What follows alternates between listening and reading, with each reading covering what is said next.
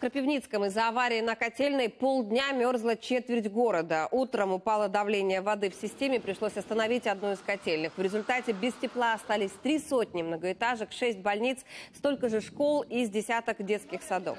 Чтобы ликвидировать аварию, коммунальщикам понадобилось 6 часов. Сейчас котельную уже запустили. Нет тепла только в шести многоэтажных домах. Там неполадки обещают устранить только завтра.